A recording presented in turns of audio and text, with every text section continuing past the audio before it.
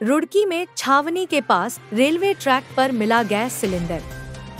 उत्तराखंड में लक्सरुड़ की railway track पर ढंडेरा क्षेत्र में छावनी के पास भूछड़ी रेलवे से करीब 300 मीटर आगे शनिवार को सुबह पौने सात बजे तीन किलो का एक खाली गैस सिलेंडर मिलने से हड़कंप मच गया।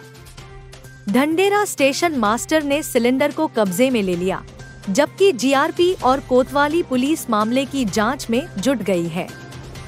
सुरक्षा बल पोस्ट लक्सर के एसआई नरेंद्र सिंह नेगी और रुड़की के एएसआई बसंत लाल मौके पर पहुँचे।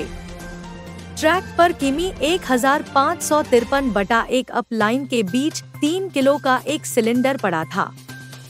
रेलवे अफसरों के मुताबिक, जिस जगह पर गैस सिलेंडर मिला, वहाँ पर रेलवे पटरी के एक और सैन्य एरिया की दीवार है।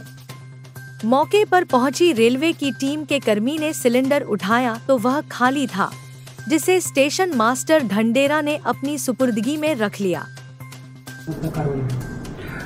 ढंडेरा से लंढौरा के मध्य एक खाली सिलेंडर छोटा कल बरामद हुआ था। इस संबंध में स्टेशन अधीक्षक के द्वारा दी गई तहरीर पर अंतर्गत धारा 150 क रेल अधिनियम के अंतर्गत बनाम अज्ञात अभियोग पंजीकृत किया गया है और जाँच की जा रही है।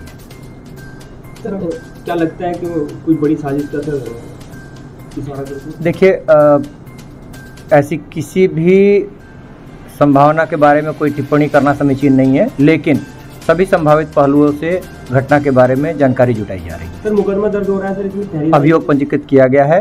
अंतर्गत धारा 150 का रेल अधिनियम बनाम अज्ञात। सर, जो फाटक है वो पहले संवेदनशील है वहाँ पे धमकी, भरे पत्र पहले भी मिल चुके हैं।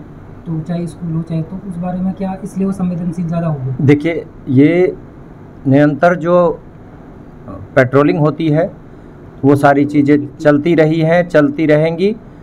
सतर्कता निरंतर बढ़ती जाती है और इसीलिए ये चीज़ जो सामने आई है, वो तत्काल ही संज्ञान में सभी की आ गई और जो अभियोग पंजीकृत किया गया है, उसमें अग्रिम जाँच की जा रही है।